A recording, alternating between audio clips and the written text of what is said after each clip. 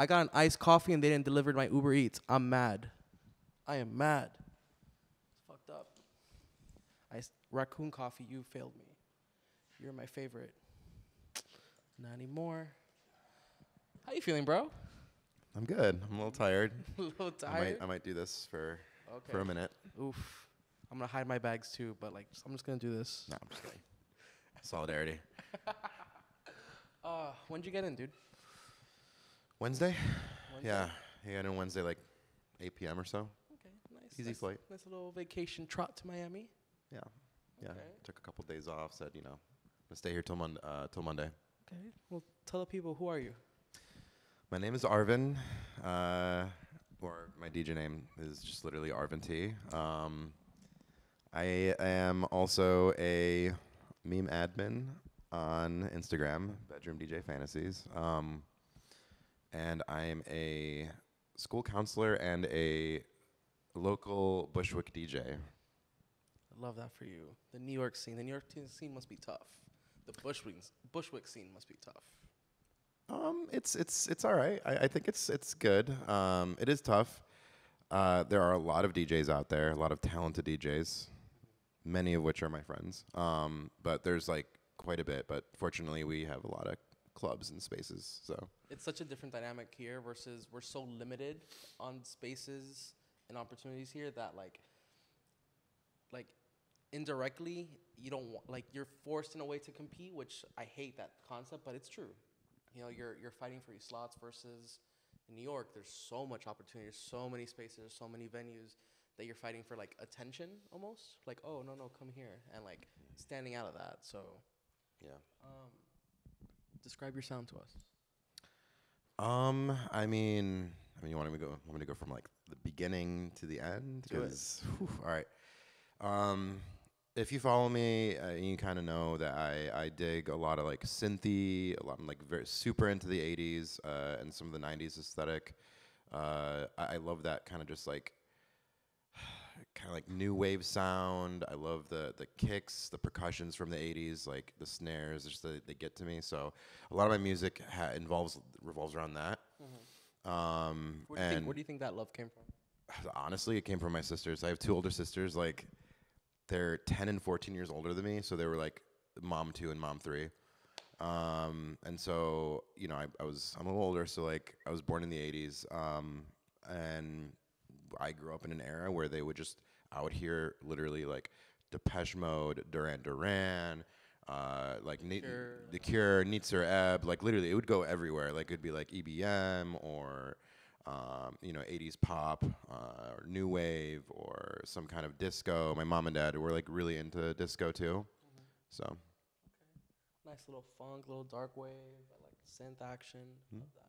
So, them being like in a way like your influence, how do they view you now and, your ambitions and your passions?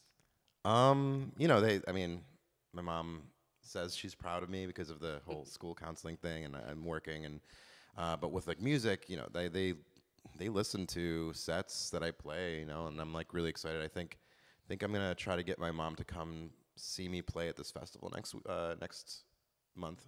In Chicago, right? Yeah, yeah. What's it called? It's called Sanctum Festival. Uh, it's the inaugural one? yeah, it's the inaugural festival. It's happening um, Thanksgiving weekend. So there's a lot of talented people on that. Lot, I mean, there's too many to name, but I'm really excited for people like you know Boy Harsher, uh, Soft Crash. So Nice. And why does why does Chicago hit home for you? uh, I moved there after uh, college. Um, so I was like in my early 20s. Uh, I lived lived there for almost like nine years or so. Um, but it, it was just you know like my second home. Um, I spent a lot of my like formative years there too, and just like all my friends. I still take like I still go back, and everything is it's like nothing changed. Like time stopped. Um, the club scene, the, the the scene is a little different now, but like I just like remember going to like Smart Bar and Spy Bar and these like great spots and kind of like developing a lot, like picking up a lot of like influences there too. Gotcha, gotcha. I mean, I love Chicago. I haven't explored the scene much there, unfortunately. Um, I do have family there and I visit, but so you went there after college? Yeah, yeah. So I was like 20, 21, 22. So where are you from? I'm from just outside of Detroit. Um, basically, like 15, 20 minutes away. Um, and yeah, I just like born and raised in that area. So I mean, jumping from Detroit, where like techno was born, to Chicago, house was born there, to now New York, where it's like the mecca of music, I guess I would call it in, in the U.S. I mean, you have all these influences and and opportunities. I mean, it's it's hard not to be. It's hard not to get involved when it's just so accessible. Yeah, no, I agree completely. Yeah, it's um, I mean, my my whole development of all this was like right before, like it was basically like an undergrad and then like just like exploring things, and I, I didn't know like too much. I was like super, I was definitely not as as versed as I am now, but mm-hmm. like. You know, I had friends who would just be like, "Hey, come on! There's like this warehouse party," and I, I literally would just be like, you know, I'd be like that stereotypical, like, I'm scared. What, what are you, what are you taking me to? Like, mm-hmm. in the mid 2000s, like, I don't even, I couldn't even tell you where I was, like, somewhere in Detroit, and I just was like, this is cool, but like, it didn't like grasp at me completely because I was so timid and scared. I was very naive for a bit, um, but really just like until like the late 2000s, that's when it like really, really hit. Was, do you remember your first experience with like going out and seeing electronic music?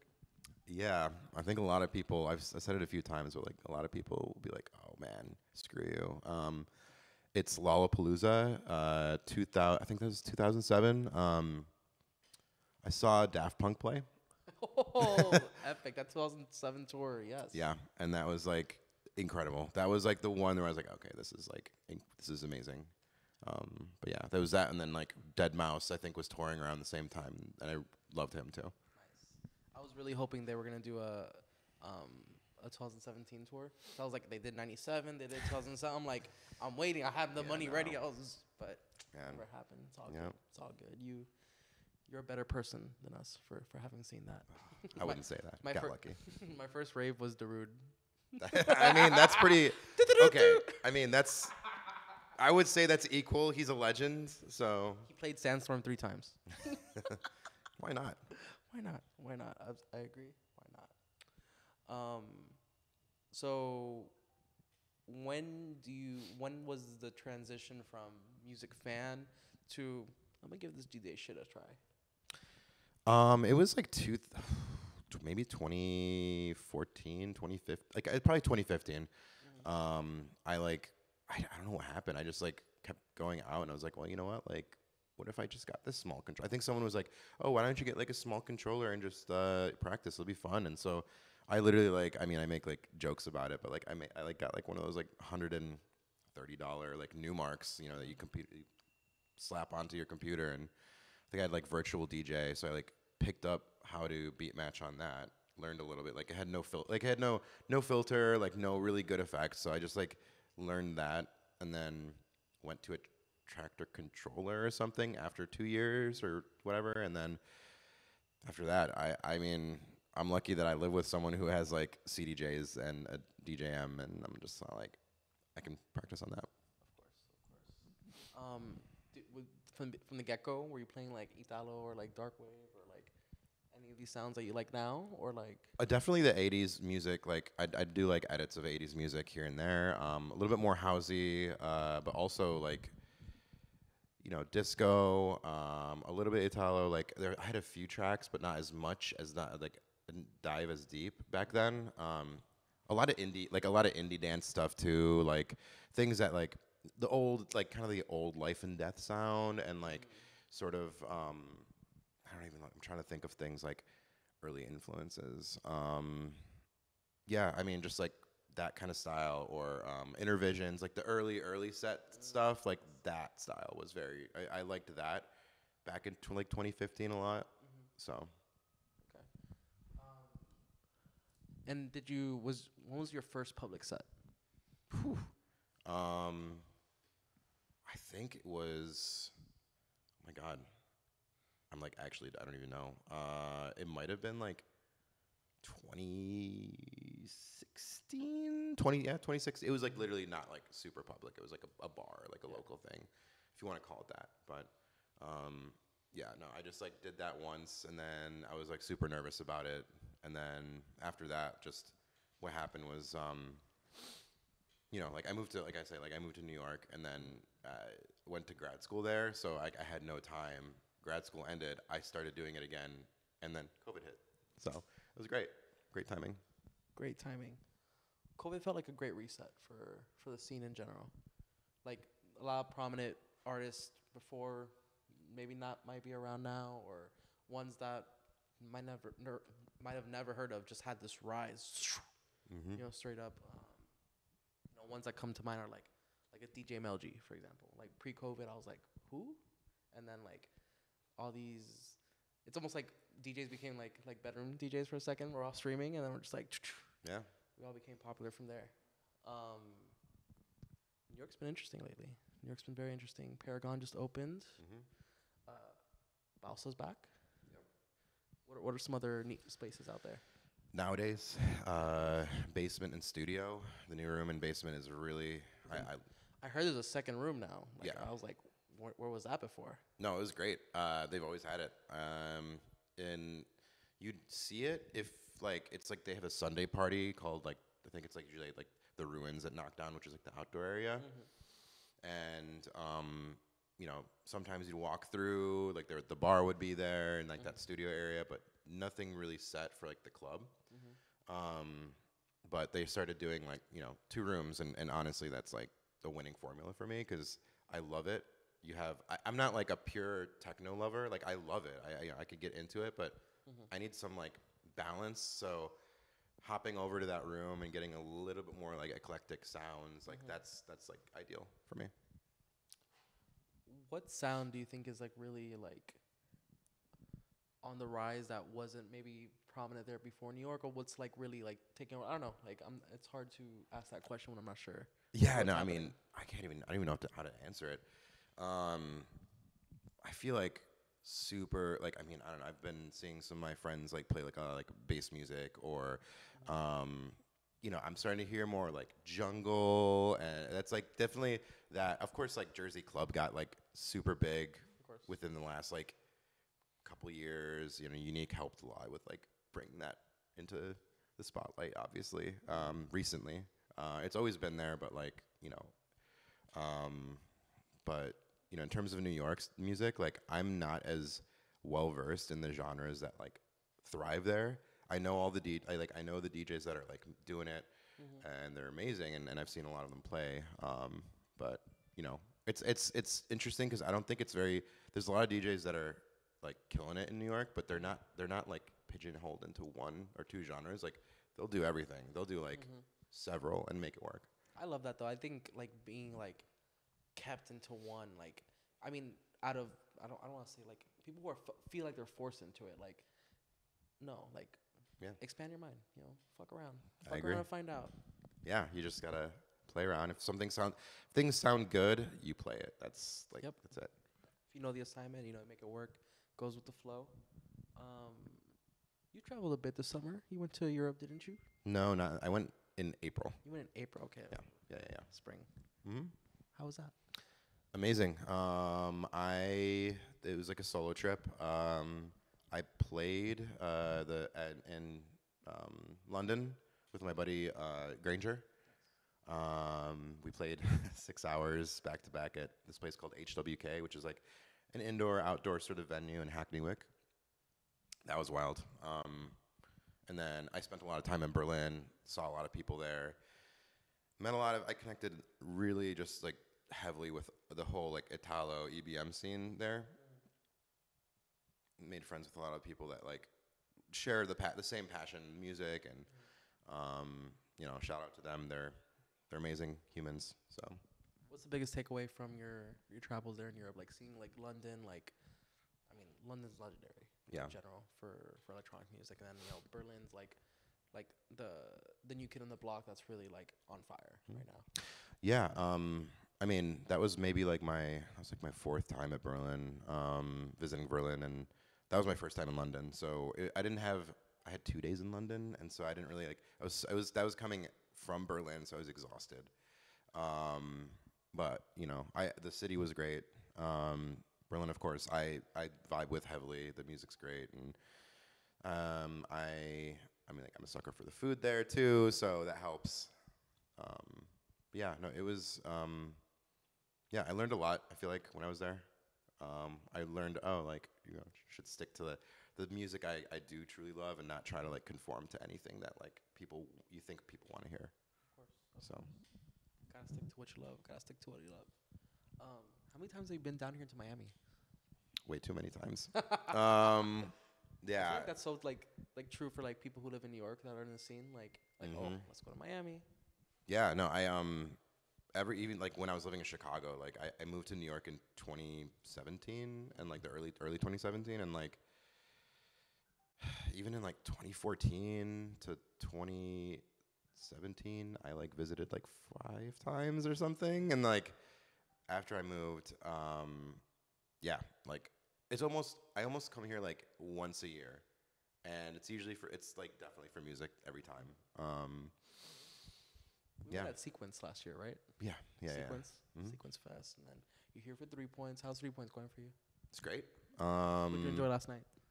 was that? What'd you enjoy last night? Oh, you're putting me on the spot here. Um, obviously, everyone from Miami was amazing. Um, you know, uh, Winter Wrong, Ultra Them, Souls Departed, Bort, Johnny, Mhm. Sister System. Like, it was all just like, they were all, everyone sounded incredible. It was tough to like jump around. Like, I, I, I wanted to try to like explore, but I was like, I'm just going to stick to them. Ah, Door four was popping. Mm-hmm. Yeah. I mean, in terms of like outside of Miami talent, like, I mean, Miss Kittin and the Hacker are my. That's like that's my. That they have my heart. Like, I've always wanted to see Miss Kittin. I've only, I've, I've seen the Hacker one time, but they were they were like legendary. Absolutely, absolutely. Yeah, it was. It's a good time. I'm excited for tonight too.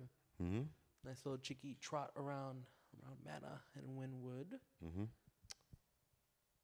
So you're a meme boy. Yeah. Yeah. How'd that start? Um. Shout out to. okay. This was before COVID, and it's. Sh- I'm gonna shout out my friend Mikey, who uh, Mikey Fabs, who like.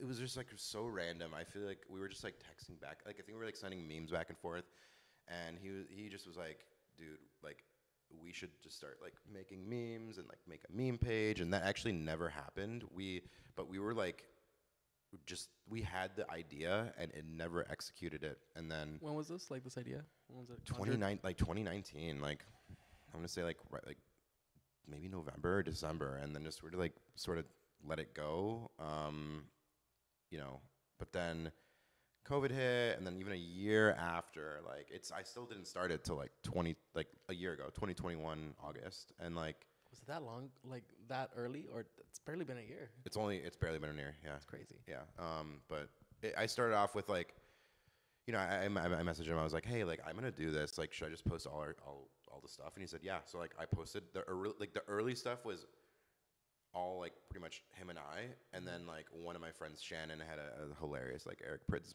meme, and I, I posted that. But um, it was very much like you know, go shut that off. Yeah, yeah, yeah, go shut up. um, I'll keep talking though. Uh, so we basically just, I mean, I, I did the whole thing, and um, you know, I would tag Mikey, and I don't know what happened. It just sort of kind of picked up steam, and you know, person who shall not be named uh, helped me big time because you know I don't really want to mention who it is. Of course. but you know, Uh, no longer affiliated. Did Did you have like a like one meme that like really like just fucking blew it up for you, or like one person that like shared it and you're like whoa like I don't know. Honestly, I, I like remember doing like the Kramer, like the, the, the Seinfeld meme where like Mhm. They're they're doing something in my, my room, Jerry, or whatever, like Uh-huh. doing that for the Horror Berlin one, and like everyone shared that, and I was like, oh god, like it blew up. Like it was just like, and at the time I didn't have that many like followers, and then that one just kind of skyrocketed. And Mm-hmm. um, trying to think of what else. Yeah, I remember you were like, oh, you were like at 5K followers, and like I just look now, you're like at 43,000. Like that's Yeah. crazy. It's fucking crazy. yeah, I don't know. I just have like crazy intrusive thoughts about the about the scene. I, I guess that's like the only way I could say it. How many of them are original? A good amount, like Yeah. eighty. I'd say like eighty-five percent, ninety percent.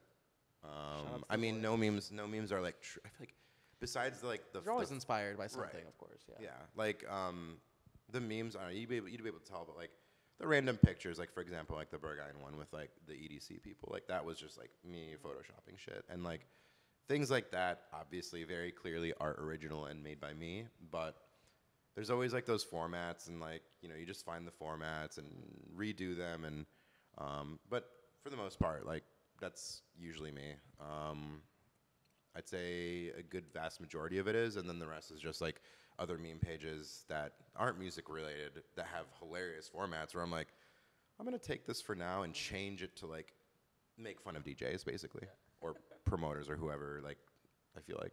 Has there been an artist who's been like you you meme them and they were like genuinely pissed? Yes, I'm not gonna say who it is. Uh, I'll just say it's a say it's a techno DJ that really just like went off and um, Like was this like a comment, a message, or how did they go off on you?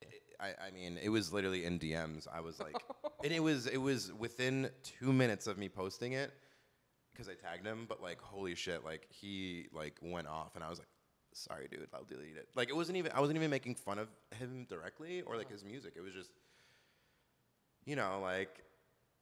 Yeah, I saw him at a warehouse party, and the warehouse party was next to a Popeyes, and like, you know, it just like the geotag on Snapchat like said Popeyes Popeyes chicken, and like, it was just like the the the, the comment was just like it was uh, raving at raving at the Popeyes at 6 a.m. and like that's all it was because it was a geotag. Really, and that's what they got mad over? Yeah. yeah. I don't know who it is, but are you insecure? I mean, they, had, they, they were they were like they said a couple things, and I was like, okay, yeah, you're right. Okay, sorry, I'll delete it. Sheesh. Okay. Yep. Okay. Um, who's been your famous DJ that's followed your account that you like geeked over? Famous DJ. Um, oh my god. I'm weird. I don't geek out too much about other DJs following. I'm trying to think of who though. Like, I mean, I mean, can I say a non DJ? Sure. Awkwafina. Okay. Awkwafina. yeah. okay. That's yeah. That's that's that's a flex. That's a, I was like, wait, what? Is this actually her? And yeah. that's great. Okay. That's cool. That's yeah. really cool. Shout out Nora from Queens, huh? Like, There you go. Shout out. It's crazy how I'm all about community. Community for me like is everything, and you've you've literally built a community based off just our scene, but like a humorous way of it, and it's it's beautiful. To me, that's that's beautiful. Like, Yeah. um, what's been the funniest interaction you've had because of your page? huh. Funniest interaction. Um. Or like just an outworldly like interaction that's happened as a result of the page. Oh, uh, yo, some people like totally ran up to me during making time, like the festival in Philly, Uh-huh. uh, and I- I was just I was like with a few friends, like you know DJs and just people like that were at the fest, and like they came up to me and they're like, "Hey, oh my God, are you Arvin? Like bedroom DJ fantasies? Oh my God!" And they literally asked to take a picture with me, and I was like, "No, no fucking way! Like this could not be happening." I was just like, "Wait, what? Like not me, please, not me. I'm not that famous, please, no." Oh man, I took the picture, but like, man, surreal. Yep.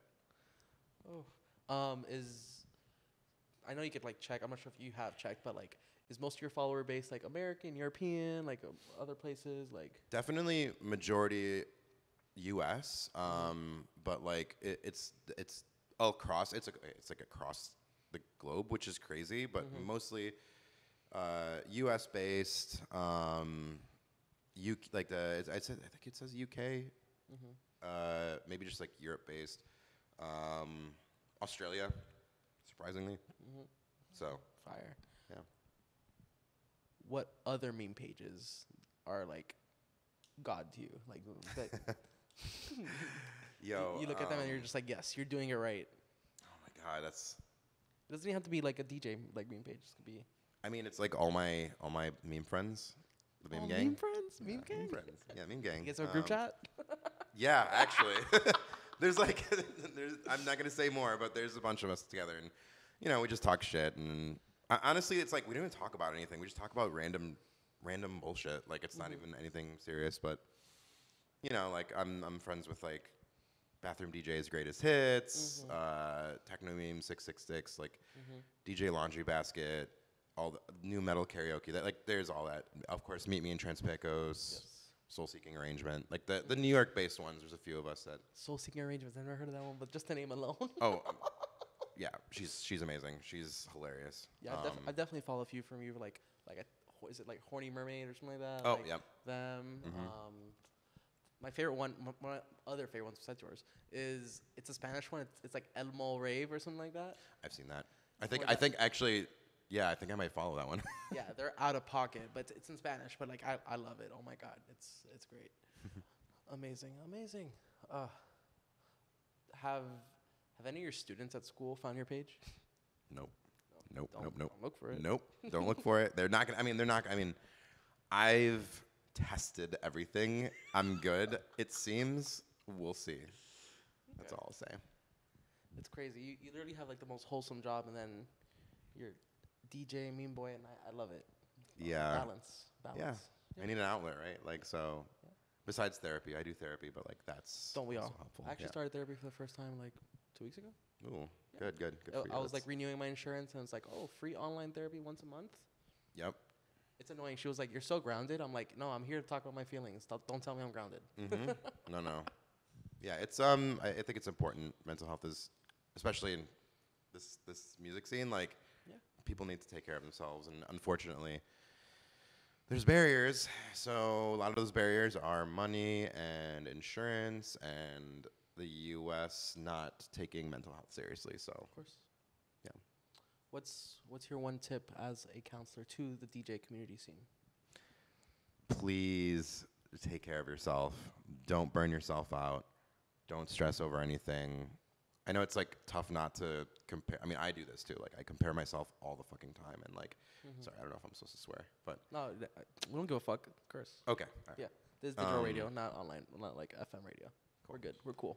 Uh, yeah, no, I just like just take care of yourself because that's the number one thing. Um, if I feel the urge of like burning out, I will like separate myself, um, which is very difficult in this scene because you feel like you have to constantly like put out content or do something to like be have the eyes on you in some sort of fashion. Um, but truly, just taking like a week or two away is is okay. It's healthy. It's absolutely healthy. I think I'm I'm kind of reaching that point. Like I think after Halloween week, I'm just gonna lay low until like New Year, basically. Yeah. Make some music. Yeah, and it's it's tough to. Um, let me just also add this because like I Please, feel please. I feel bad that I said that. Um, it's tough when this is your primary form of like um, income because you know I'm fortunate to have like a full time job, and this isn't really like a full time thing for me. It would be great if it was, but it's okay. This is like just a passion, a hobby. Um, but you know those those that have to like constantly go out and DJ, and I think a lot of it, a lot of the issues are you know bookers, promoters, lowballing. You know, it's not it's not a lot of them, but there are some out there that definitely they don't pay well. They they make like you know they'll like not Uber the artist over. They'll they're they're just basically just don't handle it well, and I think that contributes to the burnout on those like full time DJs. Of course, of course. I mean, yeah. Shout out to the ones that do it this full time. I mean, that's that's the dream. But Mhm. sometimes, fuck, man, it's hard. It is hard. So, look out for your artist. Take care of yourself. You heard it from the man himself. Please pay them. Please pay them. Please pay them. Anything coming up for you? Besides this festival in Chicago we just talked about? Uh, next week, um, on Friday in Brooklyn, um, at Trans Pecos, I'm playing a new. Uh, it's like it's new beat industrial EBM sort of like party Halloween party called Dark Dance, um, and it's a yearly thing. Uh, I'm playing with Regalio and Umfang, Oof, fire. Yeah. Fire. so Nice. should be good. You have your costume picked out? No, um, some of my friends were like, "Let's be the Eevee evolutions," and someone already selected the one I wanted. So I'm like, I'm just not gonna dress up. Fuck them. She's lovely. She's lovely, but fuck them. Just kidding. Um, I, I need to pick out a costume. I haven't thought about that. What do you want to be? No, I'm I'm opening up for for who am I opening for for am I forgetting the name right now? Oh, Cashu. Cashu. Okay. Yeah, yeah. So yeah, it's a Brazilian party. Maybe I'll just be a Brazilian player. I have to figure it out. Think about it. Um, anything beyond Halloween party? Um, not really. I actually haven't planned anything. Mhm. Um, I feel like usually bookings come like two weeks out for me. Um, but besides that, it's the it's the Chicago Sanctum thing. Um, so I'm not Mhm. sweating it very much. Um, I am going to go to Europe again uh, mid December and probably stay through like the New Year. Um, Where where to? Berlin, of course. Um, gonna go hang out with some friends there, uh, and potentially play. Nothing confirmed yet, so I can't say it. But um, I hope so. Yeah. So I have two things potentially in the making. So I'll. I mean, if you follow me on social media, you'll see it. Fire. Um, you still do events yourself? I put it on a hiatus, but I'm going to bring it back. Um, I had the a party series that was at this little basement of a cocktail bar called Heart Bar, um, but you know the, the one that you played as well. Thank you. um, But I've held off on it because the summer was really busy. Um, I was just like there were a lot of DJ sets, and I was just kind of like I can't. you were popping off. I, every week I saw something new. and I like the new clubs, you know, the ones that reopened. I'm like, Mhm. go Arvin. You should Yeah. be proud of yourself. You should be really proud of yourself. Thank you. Yeah, no, th- th- they were fun. Paragon's amazing. Boss is amazing. Um, so shout out to John for having me. Um, but yeah, the party. Uh, I'm gonna try to do the party series again now that some of our smaller venues are open reopening. So I'm like, I'd rather do something more intimate than bigger. Nice. Yeah, less pressure. Less pressure. Yeah. More fun. Any shout outs or closing thoughts? Mm, oh man. I mean, obviously, shout out everyone who follows me on the meme page. and also follows me on my personal slash DJ account. So thank you for laughing with me. we love you, Arvin. Thanks for being on. Thank Ready you for- for having me. Ready for that DJ set after two hours of sleep? Uh, yeah.